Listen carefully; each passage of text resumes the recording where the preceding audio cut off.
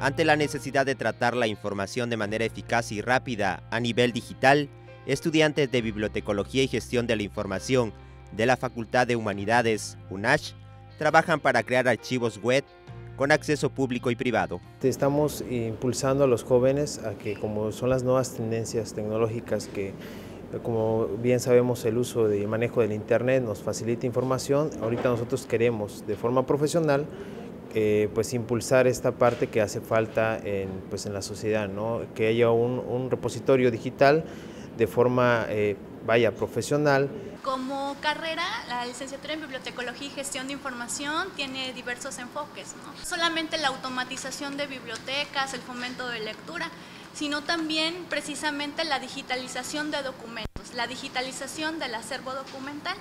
Eh, vamos hacia miras acerca de los repositorios documentales, una parte importante no solamente en las bibliotecas, sino los, las instituciones públicas y privadas. Los sistemas automatizados permiten al usuario la búsqueda más rápida de la información en diferentes bibliotecas. Estamos implementando un programa que se llama ALEP y para esto estamos, eh, tenemos el apoyo de la Universidad Nacional Autónoma de México que nos ha apoyado con toda su infraestructura y sus y, cursos y entonces eh, le estamos enseñando a los chicos para que en determinado momento puedan trabajar en cualquier, en cualquier biblioteca del país. Ante ello, estudiantes aplican los conocimientos sobre colecciones, catalogación e enciclopedias en protocolo de tesis. No todas las bibliotecas manejan lo que es la digitalización. Nosotros estamos iniciando un protocolo todavía de tesis que va enfocado a lo que es el archivo histórico de la universidad.